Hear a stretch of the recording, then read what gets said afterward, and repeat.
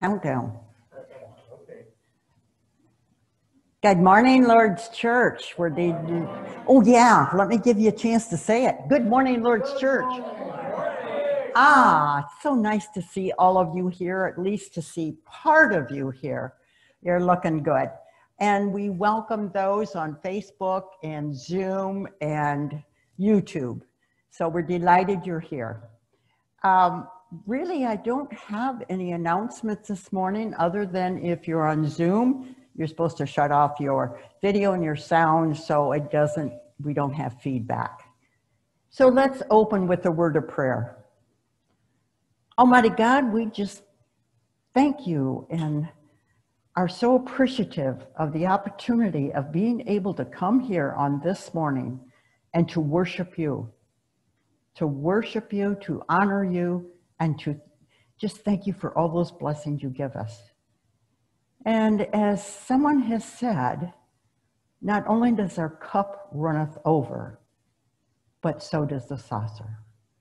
So help us to keep that in mind uh, as we stand here on your holy ground. Guide and direct each one of us here this morning. Open our hearts and minds to receive your message on this day. In Jesus' name, Amen.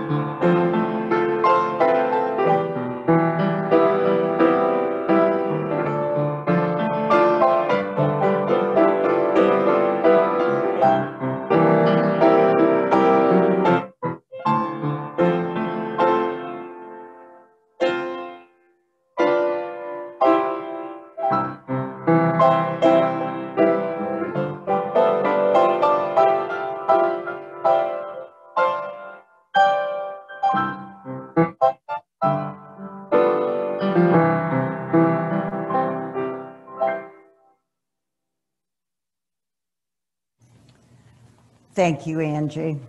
What a blessing you are to us every Sunday morning. Uh, we have an offering basket in the foyer, and we ask that you um, leave your offerings there. We don't pass a basket anymore because of the coronavirus.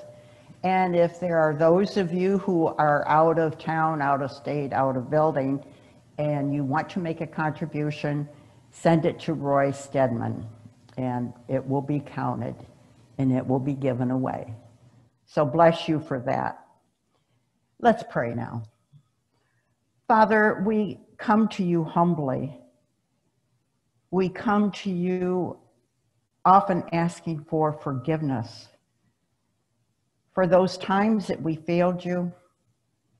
Sometimes we knew we were failing you, and other times we were oblivious.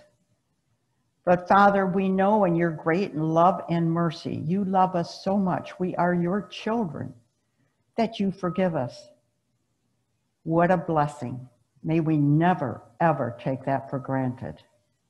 And Father, the gift that you've given us of eternal life through your Son, Jesus Christ, is over the top.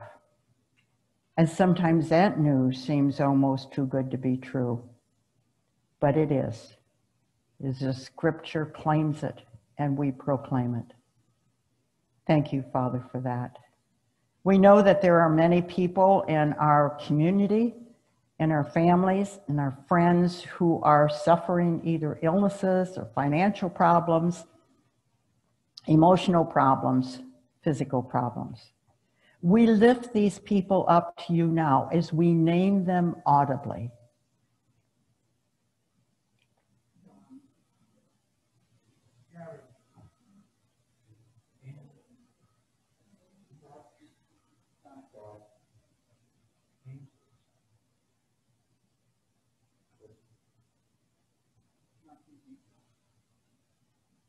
Hear our prayers, O Lord, and answer these prayers according to your will.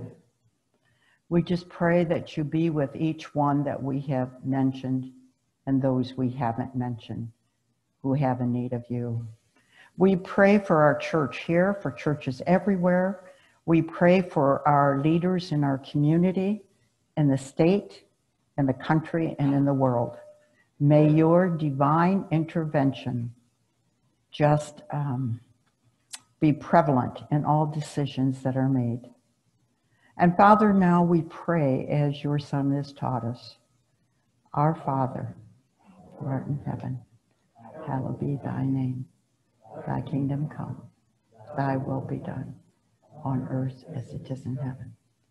Give us this day our daily bread, and forgive us our trespasses, as we forgive those who trespass against us and deliver us from all. For thine is the kingdom and the power and the glory forever. Amen. Now, this morning, we are blessed to have Greg Moses with us to bring us some of our music right now.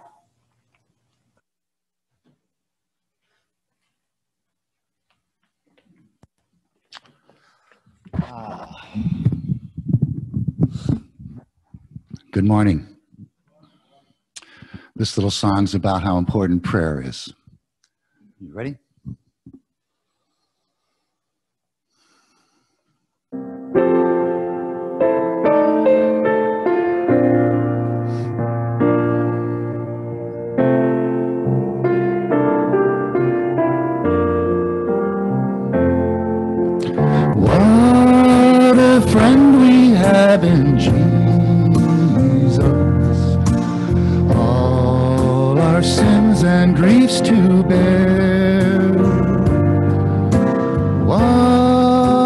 Privilege to carry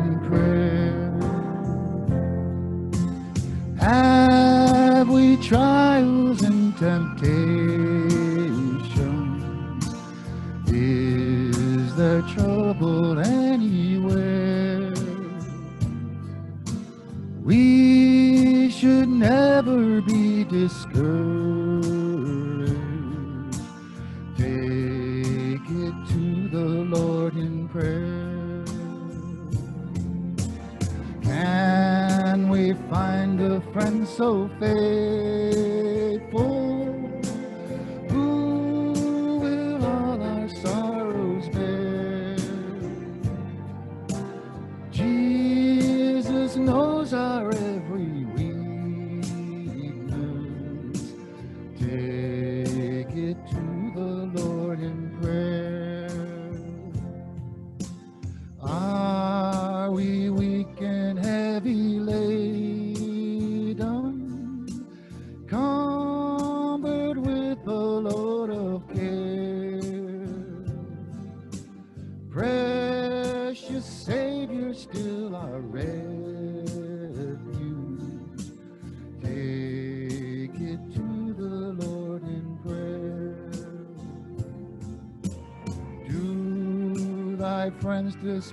forsake thee. Take it to the Lord in prayer. In his arms he'll take and shield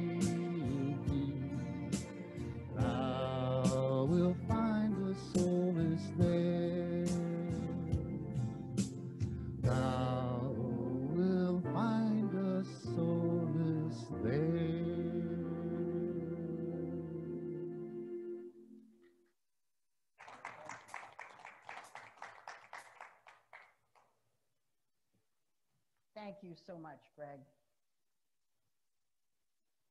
This morning's uh, scripture is from Matthew 18, 21 to 35, and the title of my sermon is Forgiveness and God.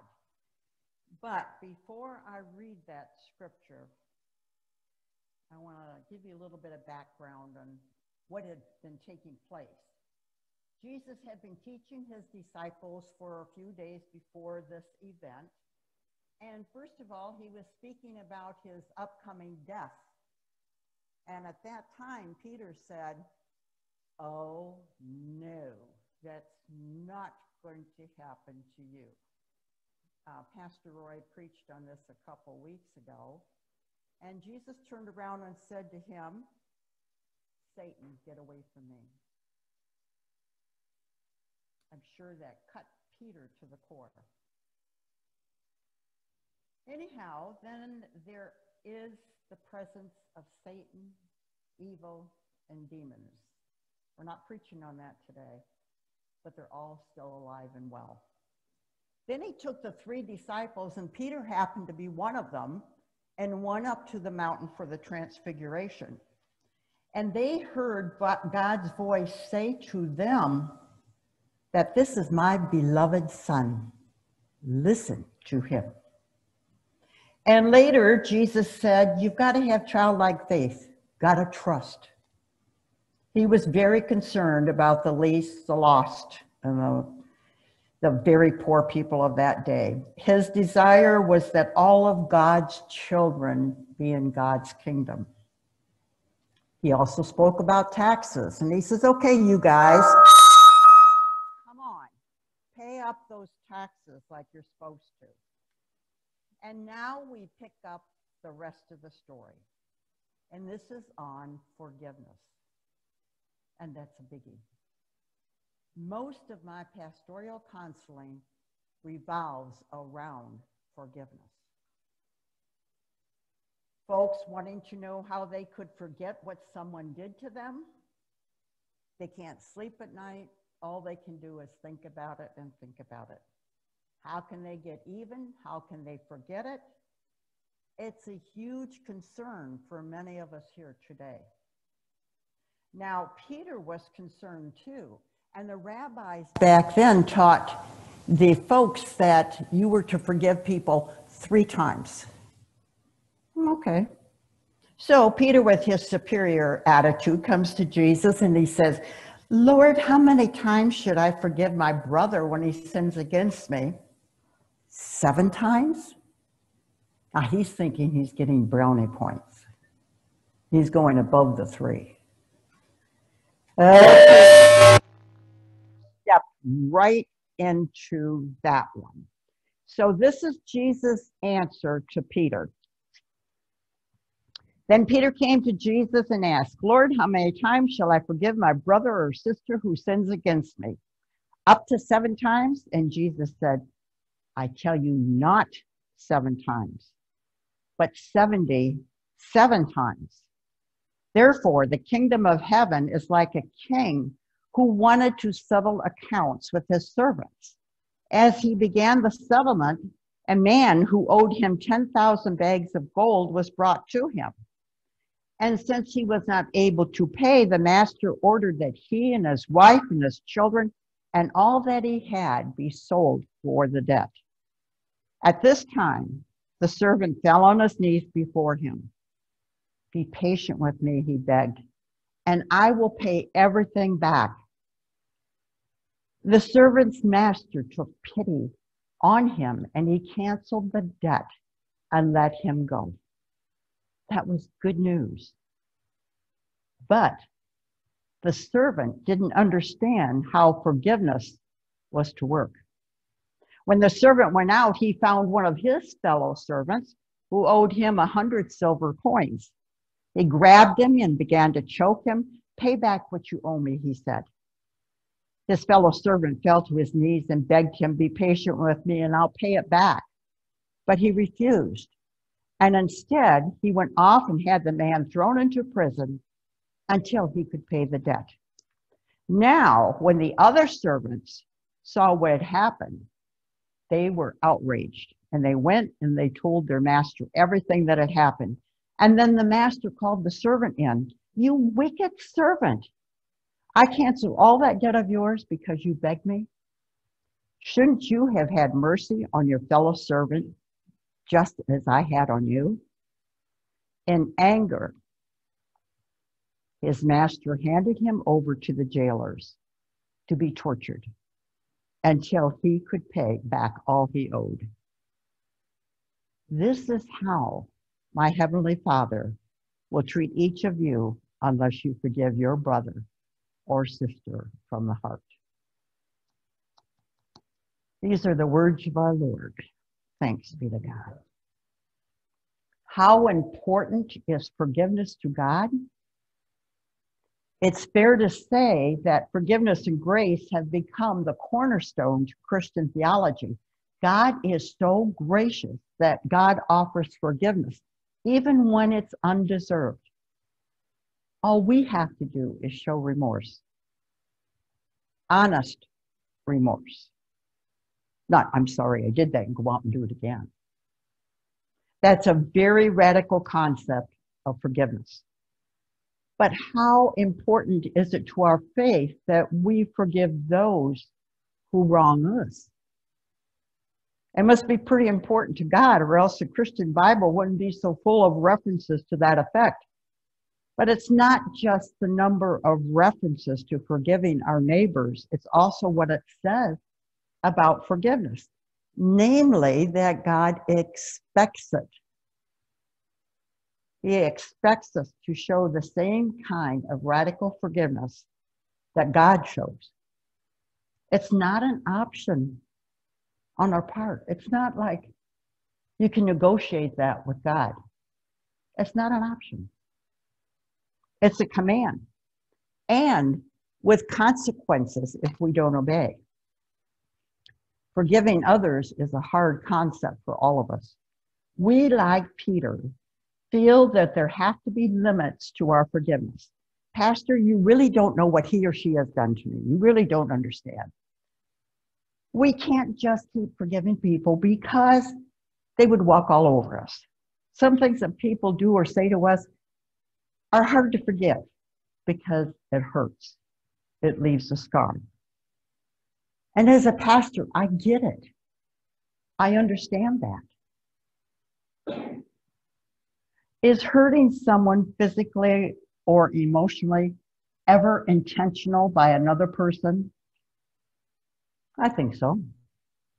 Yeah, I think so. Are there people who hurt other people unintentionally? Yes. Some folks are just totally clueless. I'll give you an example, and I've probably shared this before, but you're going to hear it again. Growing up as a teenager, I had a close friend, Joan Evans. Her, her um, mother was Anna. And I spent a lot of time at their house as she did at our house overnight, all this kind of stuff. Had a wonderful relationship. And later on in our life, Joan went off someplace and Anna became more part of the church and the prayer circle I was involved in. One day, Anna came up to me and she said, Joanne, that was my name. Joanne, I want you to know I forgive you. I said, What? I want you to know that I forgive you. I have forgiven you. And I said, Anna, what on earth did I ever do to you? And she said, the night before graduation, high school graduation, which was like 10 years before this, her daughter confided in me she was going to run away and get married. And I never told the mother. She had harbored that all these years. You know, and a nutty teenager, it was very unintentional. Things happen unintentionally. People say stupid things. And sometimes they're emotionally unstable too, or just ignorant. And sometimes we are like Peter, we come to Jesus with a mathematical solution. Okay, I can forgive three times, maybe seven, and that will make Jesus happy. The rabbis, the rabbis said to forgive three times, but I'm willing to go seven. Oh, come on, Peter. Jesus forgave those who trespass against us. That's what he said we are to do. He did not offer us exceptions or limits or limits on what the sin might be. What does it mean when Jesus taught us to pray, forgive our sins as we forgive those who have sinned against us? Whatever Jesus included in the Lord's Prayer was elementary and very important. He meant for you to listen up. It becomes clear in the scripture that forgiveness is not an option, it's expected. If we don't show the same kind of forgiveness that Jesus has shown us, we're in trouble. The way it goes in Jesus' parable, the unforgiving servant who was forgiven his debt was thrown in jail when he didn't forgive his servant who indebted him. Not only thrown in jail, but he was to be tortured. And listen to this Jesus says that will happen to us too if we don't forgive from our heart. This is one of those passages I just soon skip over. Jesus' message sounds radical to our ears, especially since he says torture. So I want to give a disclaimer. Listen up for this disclaimer. I want to make it 100% clear that we as a church, myself personally as a pastor, do not believe in torture or that it's legit. But when we look at ancient texts back in those days, 2,000 years ago, they believed in torture and they believed in slavery. We don't do that anymore. So sometimes pastors have to give this disclaimer and put the parable into the right context. So we believe that slavery and the use of torture is morally wrong in God's view. This wasn't clear to the people back then. That's what they understood from their culture of that day. I also want to make it clear that this parable can still teach us a point that it's extremely important to God that we show the same kind of grace and mercy we have received to others. If we don't, there will be consequences. What will they be? I don't know. But there will be consequences.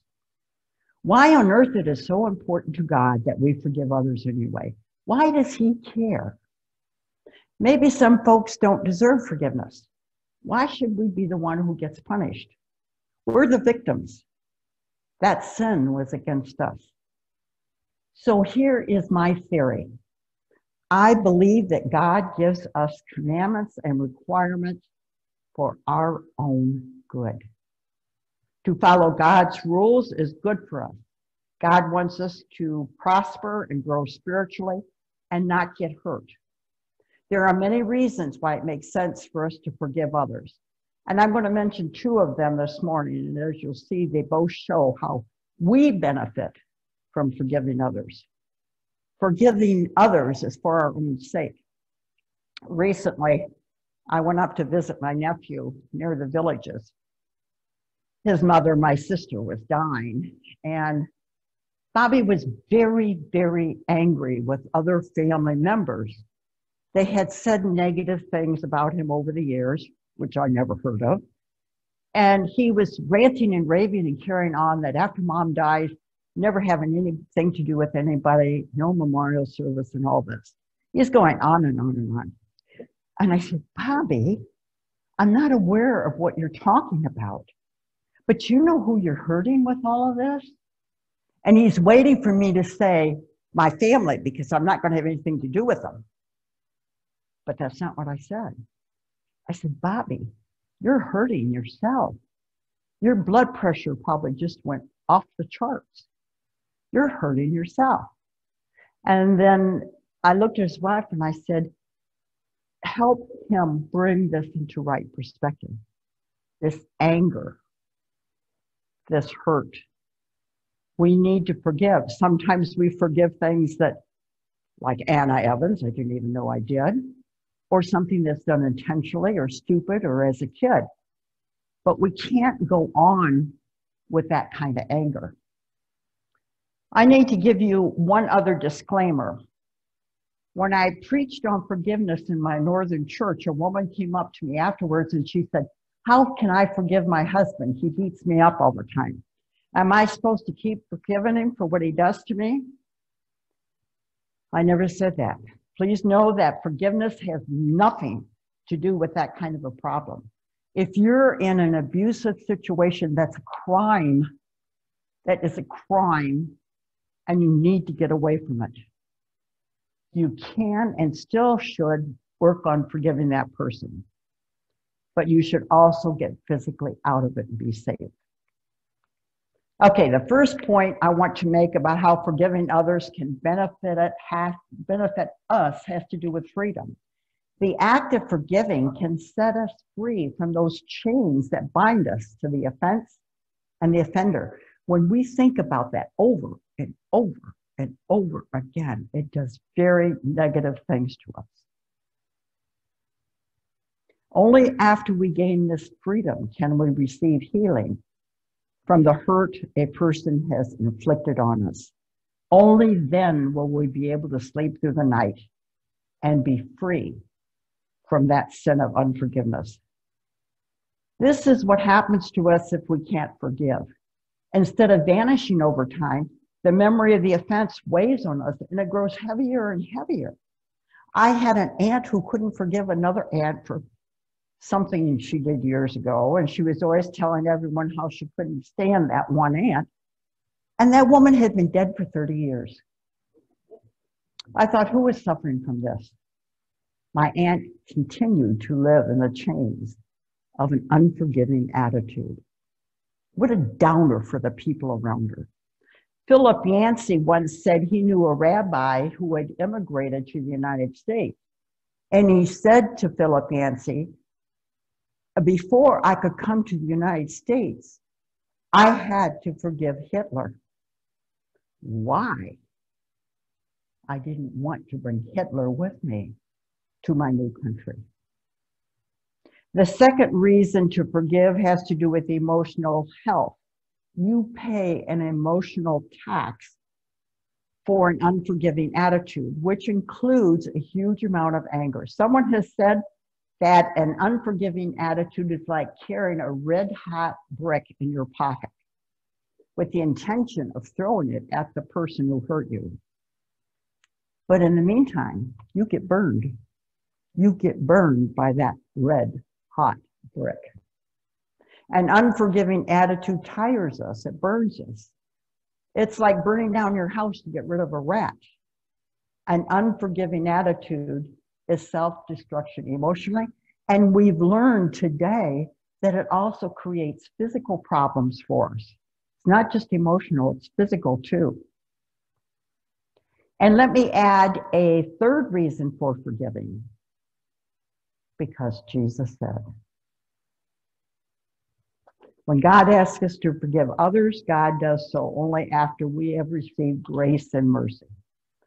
And then God expects us to forgive for our sake so that we can free ourselves and heal from whatever wrongdoing or hurt or loss that was put on us. So, this is my assignment for each one of you this week. Think about that person who has wronged you. Then think about the many ways you have wronged our Lord by not following his two commandments to love him with all your heart, soul, and mind, and your neighbor as yourself. And we all know that when we go to Him and ask for forgiveness, we are forgiven unconditionally. We didn't and can't earn that gift of forgiveness, and we certainly do not deserve it. But I, our Savior offers his grace and mercy to all of us. Now go and do likewise to that person who has wronged you. Let us pray. Most holy and merciful Father, we confess to you and to one another and to the whole community of saints in heaven and earth that we have sinned by our own fault in thought, word, and deed, by what we have done and what we have left undone. We've not loved you with all our whole heart and mind and strength. We have not loved our neighbors. We have not forgiven others as we have been forgiven. We've been deaf to your call to serve as Christ served us. Accept our repentance, Lord, for the wrong we have done and our blindness to the human need and suffering and our indifference to justice and cruelty. Restore us, good Lord, and let anger depart from us. Please hear our prayer. Your mercy is great. Amen. And now we will have Greg come back.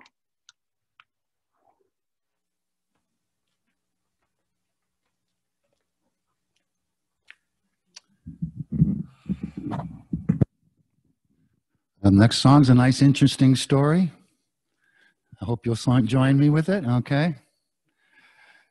Go for it.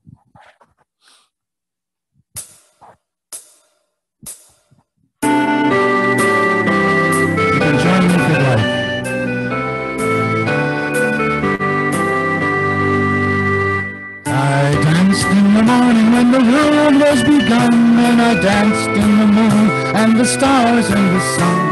I came down from heaven and I danced on the earth. At Bethlehem I had my birth. Dance then wherever you may be. I am the Lord of the dance, said he, and I'll lead you all wherever you may be, and I'll lead you all in the dance, said he. I danced for the Pharisees and scribes, but they would not dance, they would not follow me. I danced for the fishermen, for James and John. They came with me and the dance went on. Dance then wherever you may be. I am the Lord of the dance, said he, and I'll lead you all. Wherever you may be, and I'll lead you all in the dance, said he.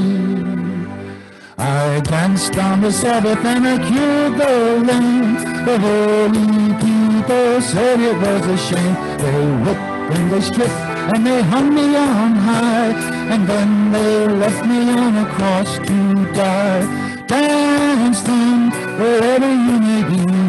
I am the Lord of the dance, said he, and I lead you all wherever you may be, and I lead you all in the dance, said he. I danced on a Friday when the sky turned black. It's hard to dance with the devil on your back. They buried my body and they thought I'd gone. But I am the and will still go on. Dance then, wherever you may be. I am the Lord of the dance, said he, and I lead you all. Wherever you may be, and I lead you all in the dance, said he. They cut me down and I leapt up high. I am the life that will never, never die. I'll live in you if you live in me. I am the Lord of the dance, said he. Dance then wherever you may be. I am the Lord of the dance, said he, and I'll lead you all. Wherever you may be, and I'll lead you all in the dance, said he.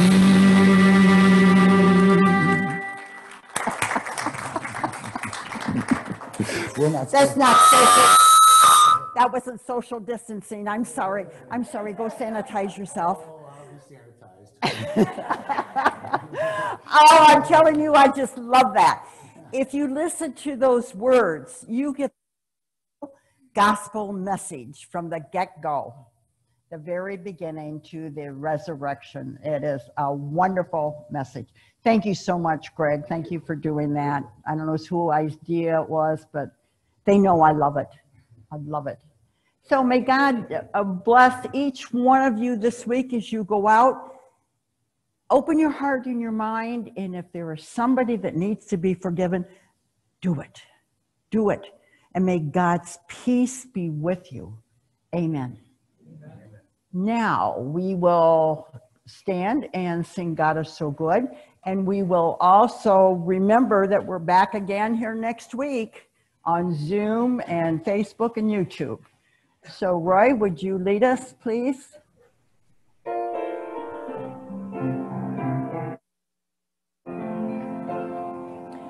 God is so good. God is so good. God is so good. He's so good to me. He always, he always forgives. What did I do? He always forgives. He's so good to me. I wish you could see us. Amen. It's, I,